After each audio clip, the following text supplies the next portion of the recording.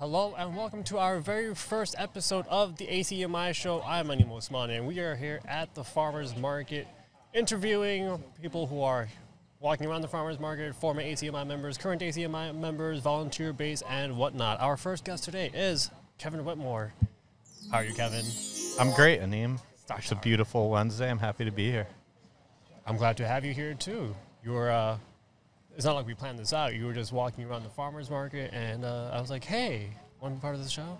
Yeah, that's right. I wanted to. Uh, I was driving through Arlington and figured I'd stop and, and grab some uh, smoked fish pate and say hello to my old friends at ACMI because I knew you guys would be here today. And now you're here on a podcast show. And I think that's the beauty that really encapsulates ACMI, is just the ability to hop right into the action. So, as a former ACMI staff member, you are the former youth. What was the title? I was the youth production manager. Yes. What can you say about ACMI's work environment and the opportunities available for the community and for, in your case, the youth here at Arlington? Well, as I've said many times, I think ACMI is an incredible resource for the youth in Arlington. Um, and if you're watching this at home, I encourage you, if you know any any kids in the uh, Arlington school system who might be any age that might be interested in learning video production or filmmaking or animation or podcasting, to contact ACMI and come on down. It's a free service, free membership for any any Arlington school Emphasis um, on free. Yeah. Emphasis on free. How can you uh, not utilize all of this nice equipment that we have for free? Brand new podcasting station. That is a RodeCaster.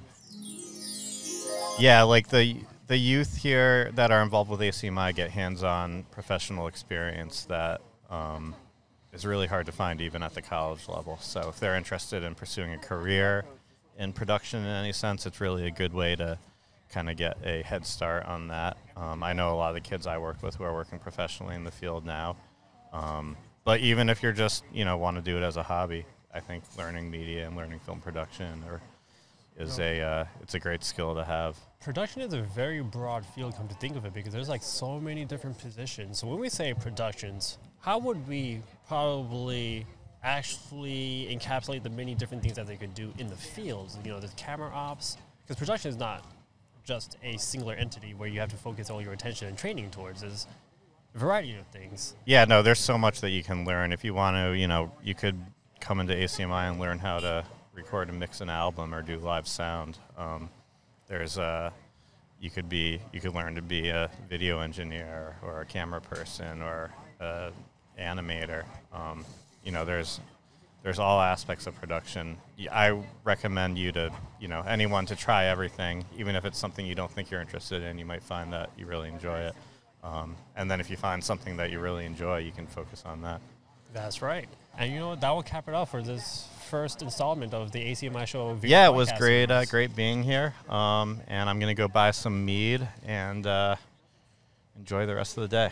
All right. Thank you once again, Kevin. Good to And see you. Remember to all the viewers out there, you could be part of this podcasting station at the Farmers Market every Wednesday from 2 to 6. We'll be here throughout the entire summer for as long as the Farmers Market continue, continues to run. Once again, I'm Emo Osmani. Thank you for listening.